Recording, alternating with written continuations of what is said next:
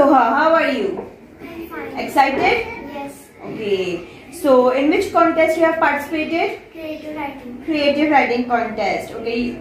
Someone helped you out? Little bit my mother will help me. She guided you. Okay. Yes. The rest of wa- was your ideas. Yes. Okay. What do you think? Like, what you will get? I will get silver medal. Are you sure about it? Yes. Now let's see. Zoha Yasir. Mm, you have got silver medal. Happy? Yes. Okay. Now what you will do? Like, how you will celebrate it? Um, some little party. little parties and what do you think like what you have learned from this contest Um, some vocabulary something okay so you will participate in upcoming contest also